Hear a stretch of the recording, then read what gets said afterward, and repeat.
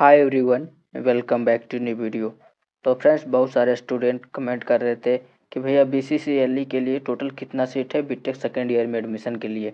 तो देखिए friends B C C board की तरफ़ से एक सीट मैट्रिक्स जारी किया गया है, जिसमें दिखाया गया है किस कॉलेज में कितना सीट है और किस कैटेगरी के लिए कितना सीट बचा हुआ है।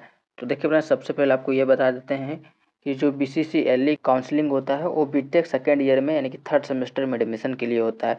जो भी स्टूडेंट डिप्लोमा किए हुए हैं, वो डायरेक्ट सेकेंड ईयर में एडमिशन ले सकते हैं बी सी सी एल ई का एग्ज़ाम दे करके। तो देखिए, उसका काउंसलिंग का अपडेट आ गया है कि कब से चॉइस फिलिंग होगा और सीट अलॉटमेंट कब आएगा, आप लेटेस्ट अपडेट पर जा करके देख सकते हैं। तो इसलिए अभी दिखाते हैं कि सीट मैट्रिक्स किस कॉलेज में कितना है। तो देखिए डाउनलोड सेक्शन में आएँगे तो यहाँ seat matrix of B C C L E engineering दो हज़ार चौबीस। इस पर क्लिक करेंगे वैसे इसका लिंक मैं टेलीग्राम ग्रुप पे भी दे दूँगा। तो देखिए फ्रेंड्स, उसके बाद ये पीडीएफ ओपन होगा B C C L E twenty twenty four. तो देखिए, ब्रांच वाइज और कॉलेज वाइज कितना सीट खाली है सेकेंड ईयर में एडमिशन के लिए।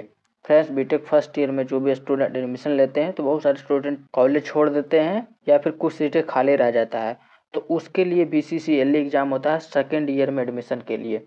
तो देखिए, जिस तरह से भागलपुर में टोटल कितना सीट खाली है, सत्रह सीट खाली है सिविल के लिए, मैकेनिकल के लिए दस, इलेक्ट्रिकल के लिए ग्यारह, इलेक्ट्रिकल एंड कम्युनिकेशन के, इलेक्ट्रॉनिक्स एंड कम्युनिकेशन के लिए नौ, कंप्यूटर साइंस के लिए ग्यारह।